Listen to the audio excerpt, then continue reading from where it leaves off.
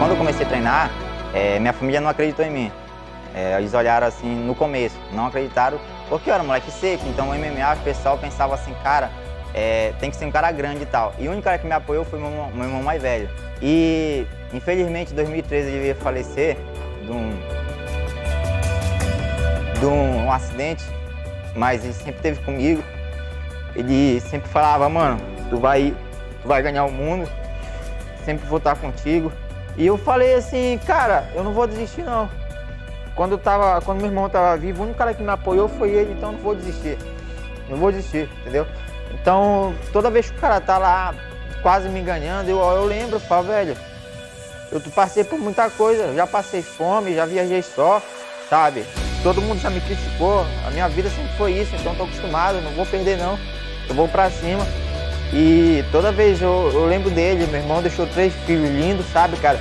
Que eu tenho esperança, tenho fé em Deus que eu vou poder ajudar, entendeu? Os moleques crescerem.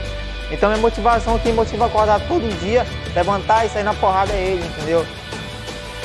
Como eu falo, lá no norte a gente é assim, a gente é forjado no aço desde o começo, nada me assusta. Você pode colocar o melhor cara da categoria, pode jogar o Khabib para lutar comigo hoje, ele vai levar porrada. Por causa que ele pode ter melhor técnica que for, mas ele nunca deve ter motivação que nem eu. Ele nunca deve acordar todo dia cedo e olhar pro céu e falar, mano, a gente tá junto de novo, entendeu? É, infelizmente vou falar pro meu adversário, cara, tu vai lutar só, eu não vou, velho. Meu irmão sempre tá comigo, ele sempre tá me acompanhando. E é isso. Mel que iniciou ali a luta no estilo John Jones, né? Olha só a força e a velocidade dos golpes deles.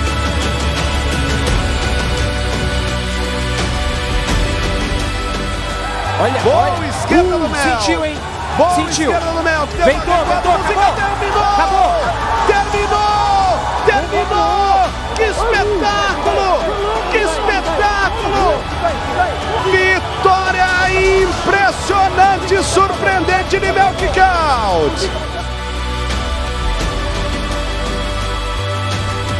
Declarando vencedor por nocaute Melk Cal.